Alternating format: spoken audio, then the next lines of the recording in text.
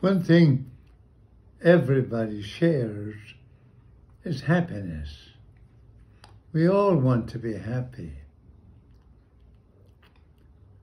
Several years ago, I heard the great Viktor Frankl, a German who had uh, survived the concentration camps, though his wife and, and, and children died there.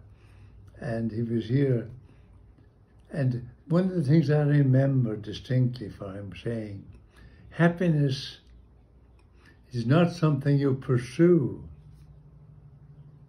Happiness is something that ensues. If you're looking for happiness in material things and you think you've gained it, no, it'll be on the next horizon. You never catch up with it. Happiness ensues, follows. If you're doing the living life the way the Creator intended you to do it. The commandments are blessings. They're not restrictions, really, you know. So, and the, today's gospel, the Beatitudes, tell us really how to do it, you know, really. We all have different gifts, you know, really.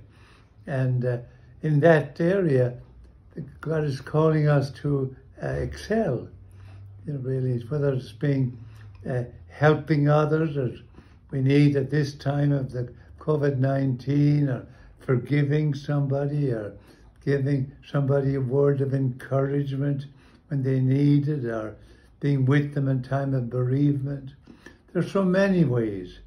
You know, what is being unselfish, selflessness. That's so important living for others. You know, that is the secret for happiness. So pattern your life after that. That's the life of Christ. And that's the way that leads to happiness even in this life. Thank you. God bless you.